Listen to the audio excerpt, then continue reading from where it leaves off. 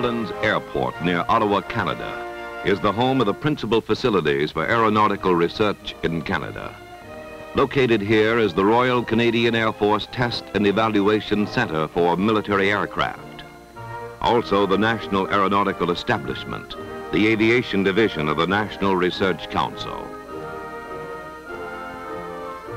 Of particular significance is this spray rig, owned by NRC's Mechanical Engineering Division, which was designed to test helicopter ice protection systems. Through the friendly cooperation of the National Research Council and its mechanical engineering personnel, this spray rig was made available to the Model 107 transport helicopter manufactured by the Boeing Company's Vertol division located at Morton, Pennsylvania. The 107 type is being produced for several civilian and military operators, among them the Royal Canadian Air Force and Canadian Army the United States Marines, and the Royal Swedish Air Force and Navy. This 107, a Vertol test aircraft, arrived at the spray rig early in December 1962 for a two-month series of tests of its ice protection systems, the culmination of several years of intensive Vertol Division research into helicopter icing problems and prevention.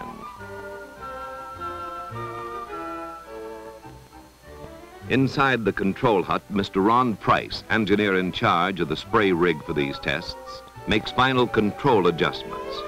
This unique rig is the only icing research facility which permits the test helicopter to hover free of tethers or tie-downs, a major step toward a realistic environment.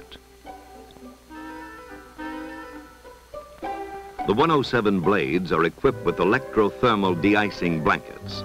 The control system permits a specified amount of ice to collect on the blades. Then, just enough heat is applied to break the bond, and the ice is thrown off by centrifugal force. This is far more economical of electricity than the anti-icing principle, in which continuous heat is applied to keep the ice from forming. The rig uses steam as a propellant to force water through rows of nozzles which are calibrated to produce water droplets about the same size as those found in natural conditions. Before a given test, the liquid water content of the cloud can be varied considerably by adjustments in the size and quantity of the water droplets. Two natural conditions, both beyond the control of test personnel, must be present.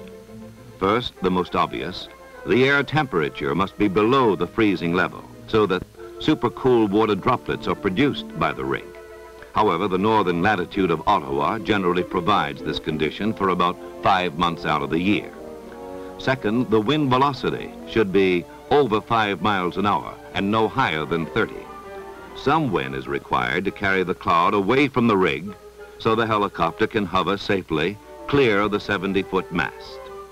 Yet too high a wind would impose excessive loads on the mast and rig. Wind direction is not important since the rig can be rotated to any heading. The initial 107 tests determined how much ice would collect on the blades based on time, air temperature, and liquid water content of the cloud.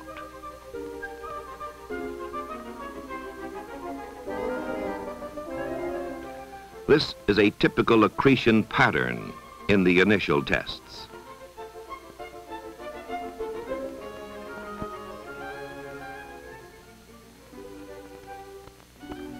A cross-section of the actual blade shows the steel spar which forms the forward third of the chord, the nose balance weight, the box rib, the top and bottom skins, and the trailing edge strip. This section of the fiberglass de-icing blanket shows the stainless steel cap for erosion protection. The blanket has six resistance wires and a common return wire embedded in it and is bonded to the leading edge of the spar. In this illustration, the thickness of the components is exaggerated for better detail and to show the six heating elements plus the return wire indicated at the extreme top. After the pilot turns the system on with a cockpit switch, no heating takes place unless the ice accretion probe in the aft pylon detects the actual presence of ice. Its signal is sent to the cycling controller which then energizes the heating elements in the blanket in the order shown. This sequence is simultaneous in each of the forward blades, so that ice will be shed symmetrically. The controller then repeats the cycle for the aft blades. In the de-icing principle, ice is permitted to build up to a depth optimum for removal. Too thin a coat would not have enough mass to fly off cleanly, and too thick a coat might have serious aerodynamic effects. 3 sixteenths of an inch proved to be the best layer thickness after which the system cycles.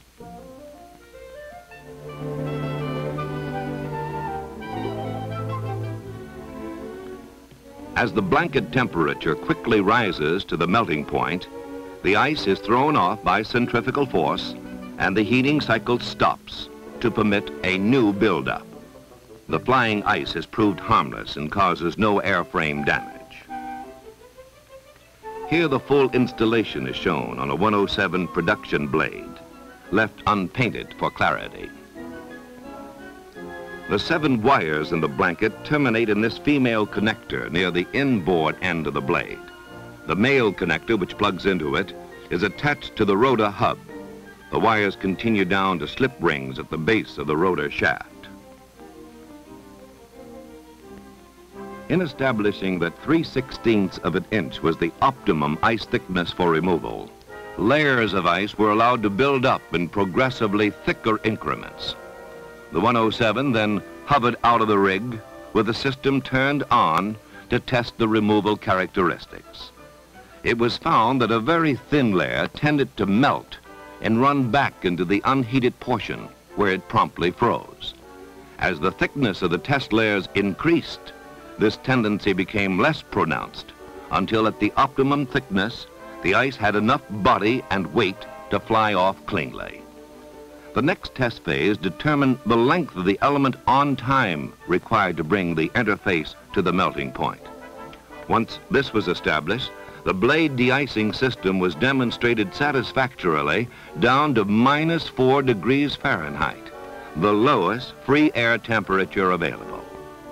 In one of the final tests, the 107 was hovered for about 30 minutes in the spray rig with the de-icing equipment cycling automatically and with the outside air temperature input controlled manually. At the end of the tests, the blades were clear of ice in the protected areas and with a minimum of run-back ice in the unprotected areas.